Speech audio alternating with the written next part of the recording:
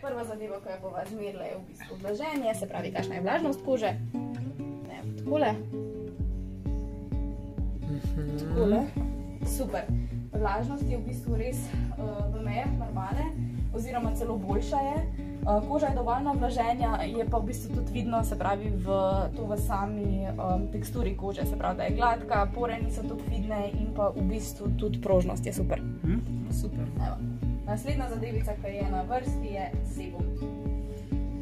Tukaj bomo vzeli te naše sebum palčke.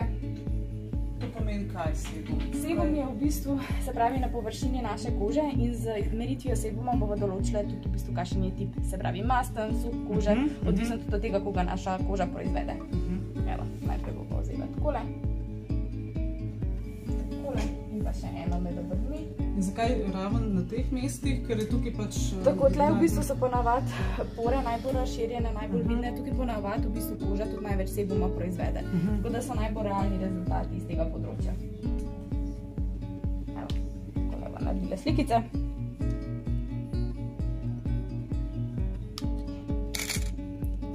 In pa še eno slikico iz tega, kar smo vzeli med obrvmi. Evo, takole, zdaj bomo pa zadevo zanalizirale. Tip kože je suh.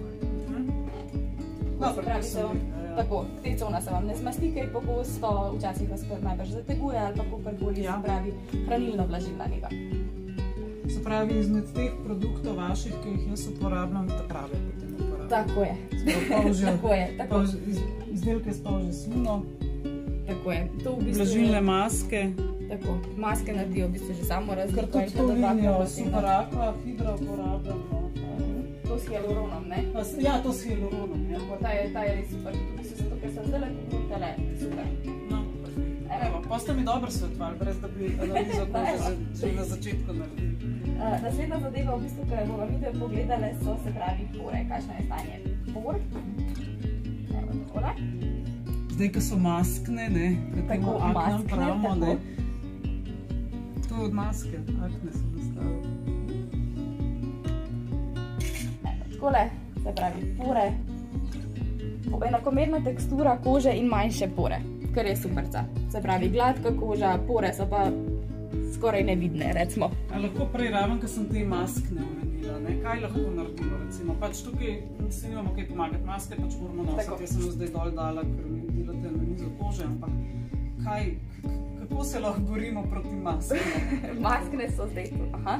V bistvu se pravi, kaj je najbolj pomembno, je to, da maske redno menjavate. To je prva stvar. Druga stvar, ki je Aha, to pomembna. ni tisto, kar imamo pol poželi, Ne, ne, ne, ne, v torbicah Ne, ne. eno masko. Ne, ko se maska pač uporabi, se zavrže, je to to. Redno menjavanje maske je ena stvar. Druga stvar, ki je se pravi efektivno čiščenje, če v bistvu vam koža to dovoljuje. Dvofazno čiščenje, uporaba BH kislin, ki protrajajo v globino, se pravi pa pore očistijo. In pa v bistvu še druga stvar, ki je neke pomirjujoče sestavine. Se pravi, kakšna sentela azijatika, ki jo najdete v medekasusitlini, ki v bistvu pospeši celjenje kože, jo pomirja. Ne? Tako, tako. Še nekaj takega, v bistvu, da se palcijske rdečice znebimo, pa tudi v bistvu preventivno deluje, da ne nastanejo pol pigmentni madeži od tiste akne. Evo, naslednja zadeva, ki je, je melanin, se pravi, ko ste naknjeni na nastajanju hiperpigmentacij. Evo. Takole, zanaliziramo celo zadevo. Evo, pigmenti se pojavljajo na manjšem predelu kože, superca. Se pravi, v Ampak to bistvu, se jim pomeni, da Tako. moramo uporabljati SPF. Točno to. SPF je v bistvu ena od stvari, brez katere skoraj vsaka ženska ne sme ven. Tako pa v bistvu tudi ta vitamin C, ki ga uporabljate, ne, je super zadeva vsekakor. Evo. Naslednja zadeva, ki je, so akne, se pravi, ko ste nagnjeni na nastajanju aken.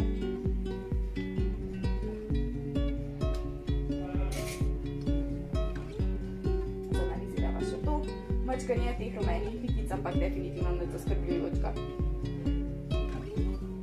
Naslednja zadeva, ki je, so gubice, to nas ponavadi No, najbolj to, to, zanima. to. Pa da vidimo, kje smo.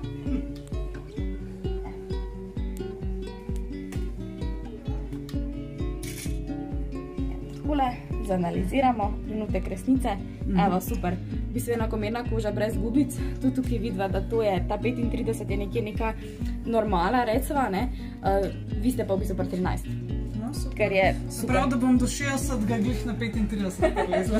Upajmo, da ne. Evo, Evo, tako naslednja zadeva, pa tudi zadnja, je v bistvu občutljivost. Um, to bo vas zmerne, evo, takole.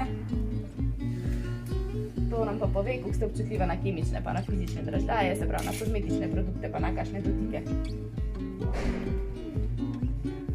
Še tole zanalizirava. Takole, super. V bistvu koža ni občutljiva, z večjo količino je odpornejša, se pravi na vse kemične in fizične dražljaje. Tako da super, ta. Evo, zdaj bomo še pregledali v bistvu tole našo, um, tale naš diagramček. Mhm. Evo, se pravi, vse je super, vse je znotraj beline, tako da to je pokazatelj, Andreja, da uporabljate pravilno kozmetiko. Super. In da fantastično zgledam Ja, za svoje leta.